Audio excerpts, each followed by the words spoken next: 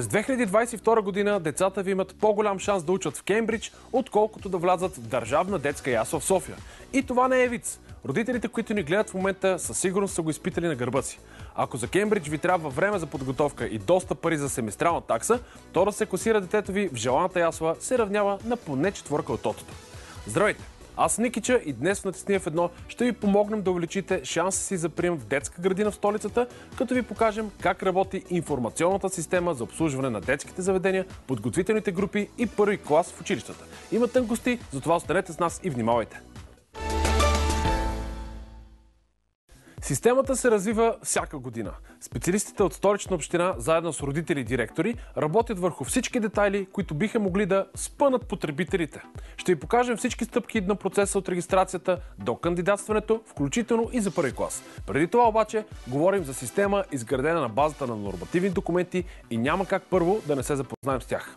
Голямото предимство на системата е че а, всички процеси, които се извършват в нея, са видими на публи... в публичната част.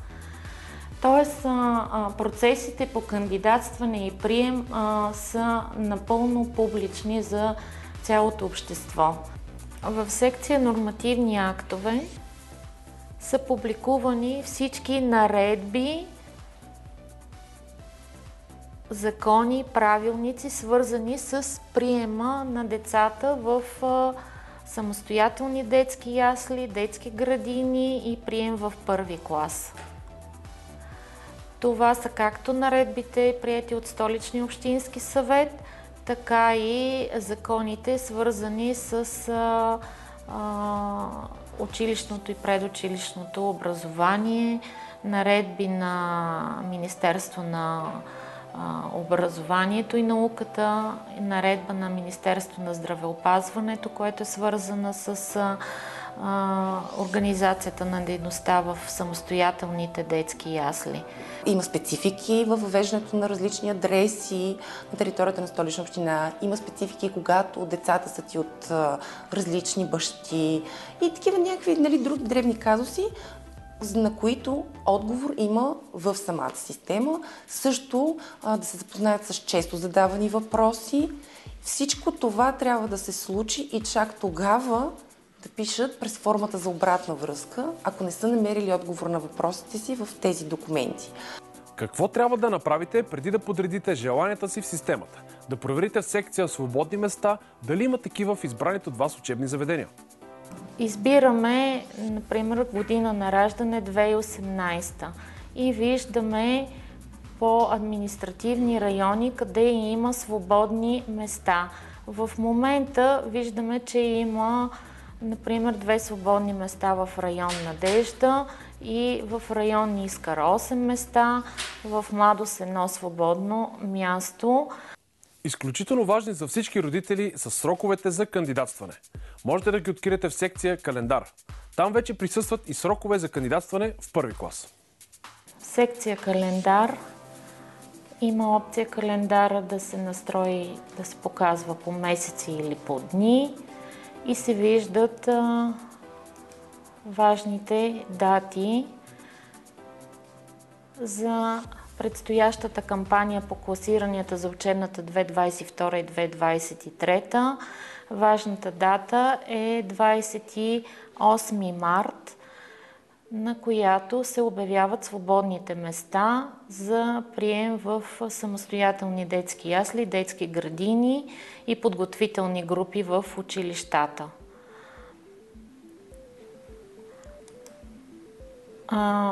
класирането и заключването на системата за първото класиране с прием от месец септември 2022.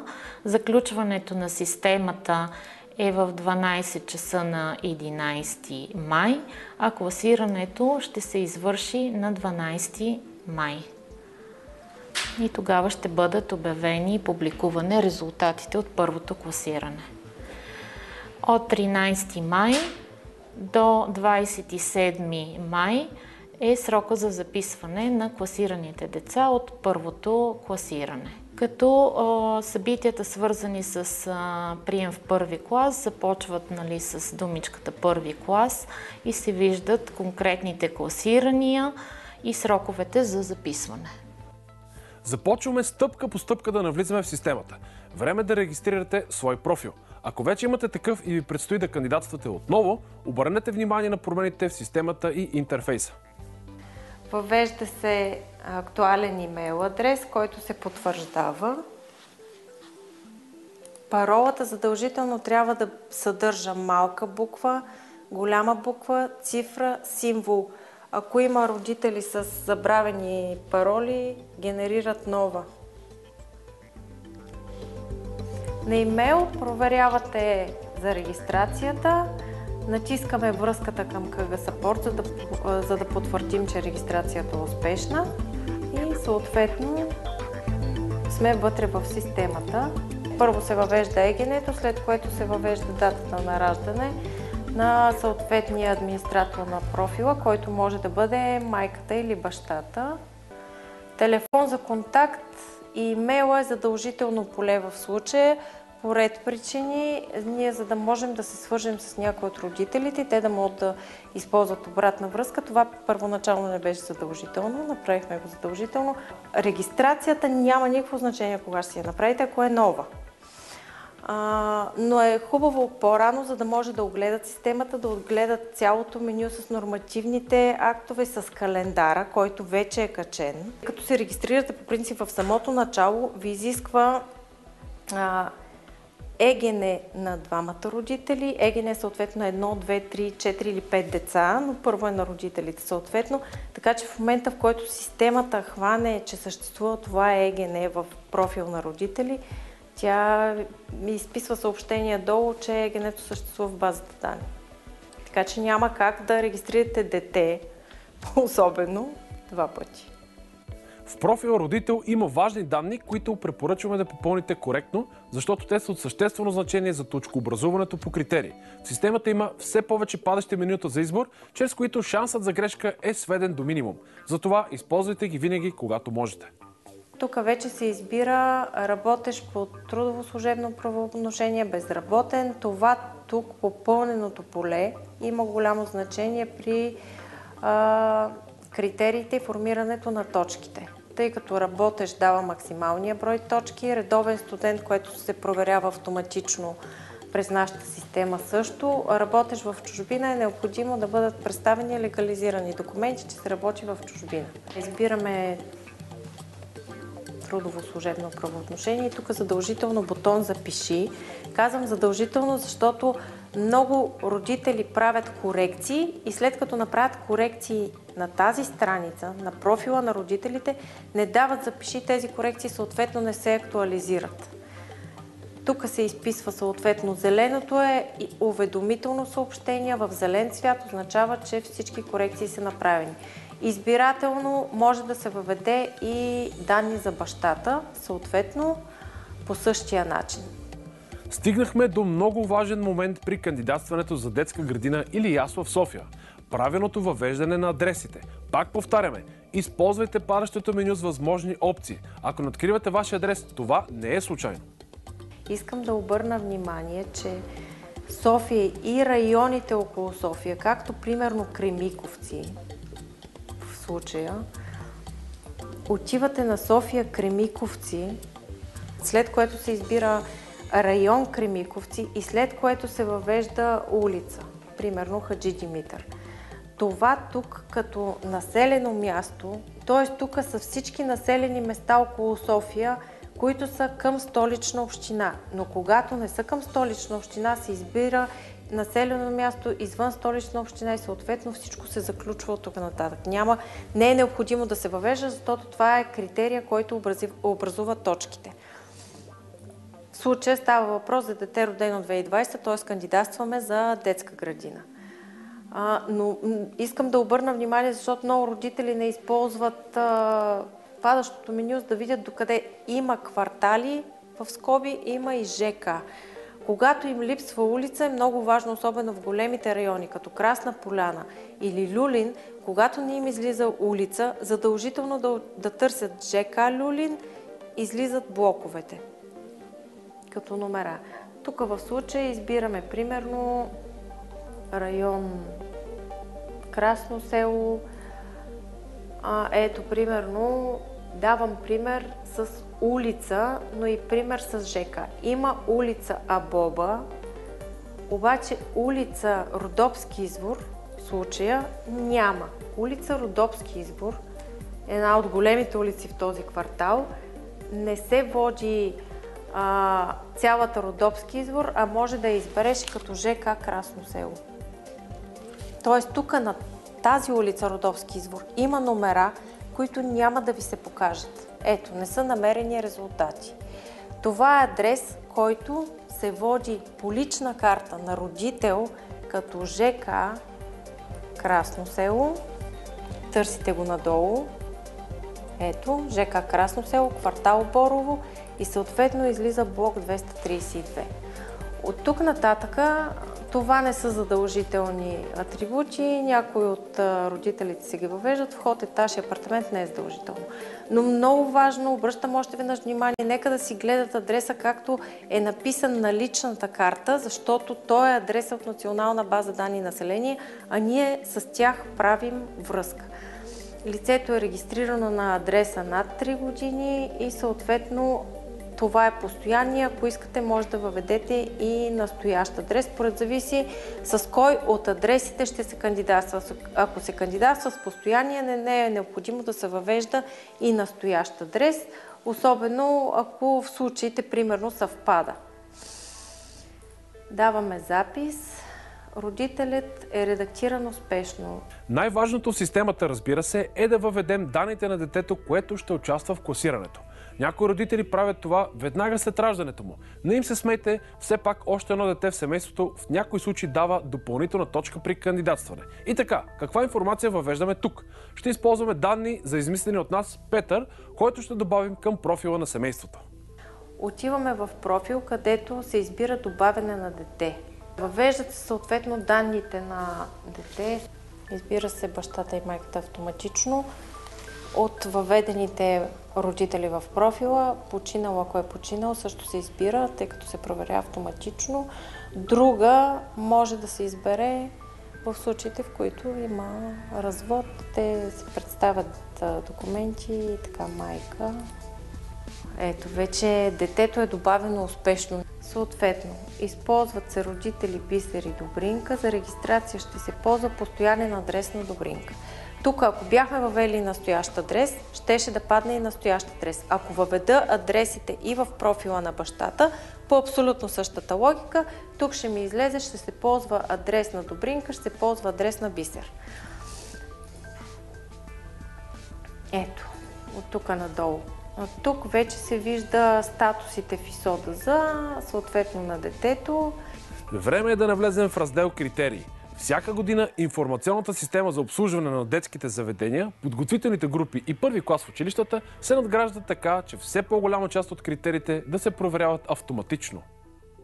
Автоматично се извършват служебни проверки в национални регистри, като национална база данни население за проверка на а, валидността на единия граждански номер и съответствието между единен граждански номер и имена на лицата адресните данни на, на родителите или на децата, в зависимост от това дали се кандидатства за яслени групи, първа градинска група, когато се изисква посочване на адрес на един от родителите или адрес на детето, когато се кандидатства за втора, трета и четвърта а, градинска група или приема в първи клас, когато отново се проявя, а, проверява адреса на детето. Освен а, адресните данни се проверяват критерии за лице от семейството с а, а, степен на увреждане в, в регистъра на Националната експертна лекарска комисия. Проверяват се данните и за родители, които са редовни студенти или докторанти в регистъра на МОН. Проверява се критерият за брат-сестра на кандидатстващото дете, което е в същата детска градина или а, училище. При открито несъответствие родителите имат възможност да прикачат електронен документ, който в последствие се проверява от служители на столична община и ако той удостоверява заявения критерий, се потвърждава и се начисляват съответните точки по критерия. Както виждате, тук вече автоматично са се сметнали критериите 4 точки за това, че се кандидатствам с постоянен адрес на майката, която има уседналост над 3 години. Ако тук сменя уседналостта в профила на майката, в случая родителите, давам само един пример. Ето, пише от 1 до 3 години. Задължително давам запиши. Родителя е редактиран. Отивам на децата. И както виждате, е установено несъответствие на лъжа. Тук се посочва административния район, съответно по постоянен адрес Красно село. Ето това е К2, за който говорих от ДВ, критерия за постоянен адрес.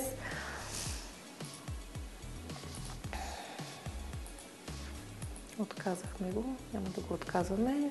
След като се мине проверката в национална база данни, което обикновено се случва в петък, това съобщение ще изчезне или ще се появи съобщение, вие не сте декларирали верни данни за съответно настоящи постоянен адрес. Така, К3 е за работещ родител. Тук съответно се дава за работещ родител с двамата по две точки, четири точки родител, който е редовен студент. Това, ако се заяви в профила на родителите. Съответно тук се изписват точките. Брат, сестра, посещаващи. Тук съответно ми дава една точка в случая, защото имам регистрирано и посещаващо дете в тази детска градина и съответно получавам по критерия, че има брат, сестра до 2 години в същото заведение и ползвам също една допълнителна точка. Деца-близнаци или деца родени с разлика до 2 години. Тук от тези, много важно е, от тези три критерия К6, К7 и К8 се използва само единия. Всички тези критерии К11, К12, К13 и 14 се проверяват автоматично. Тоест, в момента, в който ние заключим системата на датата на класирането, се пускат автоматични проверки към абсолютно всички регистри, съответно връща проверката. След като сме въвели данните на родителите и на детето и сме заявили критериите, е време да пристъпим към самото кандидатстване за детска градина или ясла. Вече ви показахме, че можете да проверите свободните места по квартали и детски заведения от основното меню. Разбира се, след 28 март 2022 година това ще се промени. Тогава ще бъдат обявени свободните места за прием от септември за набори 2019, 2020 и 2021 година. Затова проверете отново, за да разберете в кои детски заведения можете да кандидатствате, а малко по-късно пак там ще откриете и колко деца се борят за свободните места. След което се отива на избор на кандидатури, съответно избира се район Красно село и излизат всичките детски заведения, които може да си подрежда всеки родител. Значи, добавяме примерно всичките, но това не значи, че не може да си ги разместват. Знаете, че за първото се получават три допълнителни точки, за второто две и за третото една допълнителна точка. Ако някой иска да си размества, просто размества до деня, когато заключваме системата и всеки път, когато се разместят, горе се изписва, че промените са запазени успешно. И съответно вече след извършване на класирането, тук са документите, всеки родител, тук е кореспонденцията. Той е в момента, в който се класира. И родителя изпрати електронно подписано заявление, директорката го записва и в профила на детето съответно, е тук, се изписва. Статус. Детето е прието и не... Детето е прието и записано, но не посещават. Ето, статус. Брезичка, блок 23, възраст 2017, записано на 25.2020, посещава от 16.9. Малко помощ от екипа на Натисни в едно. Ако имате възможност да избирате за коя детска градина или ясла да кандидатствате, можете да изчислите шанса си в сайта София ДЗ Калкулатор. Един инструмент, с който да си спестите смятането на ръка и обръщането в проценти. Дано тази препоръка да ви е полезна, а как се осъществява самото класиране, разясняват експертите от столична община. В процеса на класиране, когато има по-малко свободни места от броя на чакащите деца с еднакъв брой точки, се формират така наречените гранични групи и тогава системата генерира случайни номера на всички деца, които са с еднакъв брой точки. Генерирането на случайните номера се извършва от хардуерно устройство, което е сертифицирано и наистина тук няма никакъв шанс за грешки. Когато се генерират случайните номера, децата се подреждат в нарастващ ред и децата с по-малък случайен номер се класират до изчерпване на свободните места. След всяко класиране се публикуват лог файлове от класирането, като има отделен лог файл с случайните номера и точното време на тяхното генериране. От миналата година се въведе ново райониране за прием в основно училище. Всеки адрес има съответното училище, в което детето ви има сигурен прием от първи клас. Още сега можете да проверите къде е разпределено по адрес вашето дете. След това ще пристъпите и към самото кандидатстване.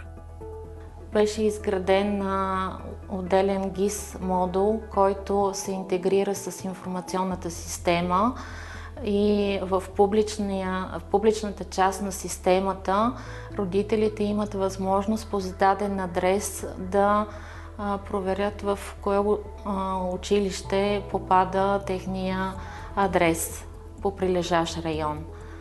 Това беше голямо предизвикателство за нас, защото трябваше да се обработят данните за над 1 милион адреса на територията на столична община а, и да се уточни а, къде точно попадат в а, чий прилежащ район на кое училище. За да се въведе конкретен адрес, първо се задава населеното място. Натиска се иконката за търсене и получаваме информация, че конкретният адрес ЖК Дружба блок 44 е в прилежащия район на 69-то училище Димитър Маринов. Това е адреса на училището, телефоните за контакт, а в долната секция се показват училищата, които са гранични на, прилежащите, на прилежащото училище. Когато се кандидатства за първи клас, се избира адреса на детето и по същия начин уседналост на детето над 3 години. Съответно, за настоящ адрес също може да се въведе, може и да не се въвежда, ако е един и същ настоящия адрес. Дава се запиши и съответно ни изпраща към приеми ги, изпраща ни към точките, където това, което казах по наредба, имаш 4 групи. Това е училището в района на детето, в което той има уседнало с 3 години.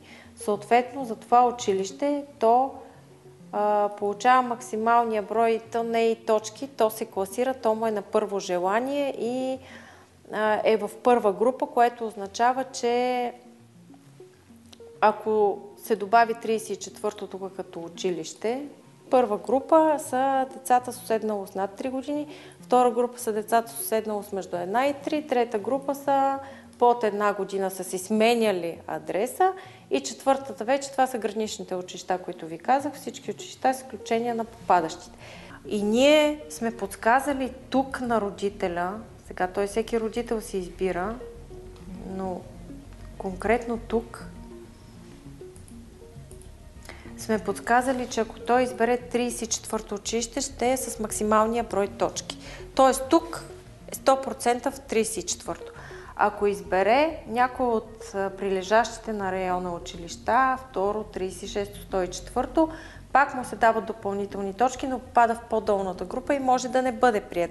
Видяхте целият процес по кандидатстване за ясла, детска градина, подготвителна група и първи клас. Не бавете момента за своята регистрация в системата. Всичко може да стане лесно, бързо и без ядове, ако имате време за реакция.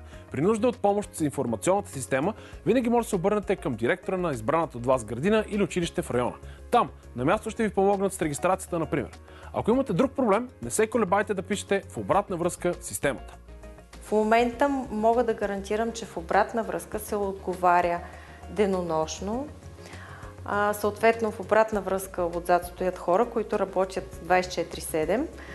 Когато е подадено запитване в рамките на деня, се отговаря до края на работния ден. Когато запитването е подадено след 5 часа на работния ден, в рамките на следващия ден, максималният срок, в който се отговаря в обратна връзка в момента е 3 дни. Не се колебайте да пишете и питате. Още един сигурен източник на информация е фейсбук групата Детски градини и ясли в град София. В нея също ще намерите много подробна информация за процеса на кандидатстване, съвети и всякакви въпроси по конкретни случаи. В фейсбук групата, която администрираме, детски ясли и градини в град София, може да бъдат задавани всякакви въпроси.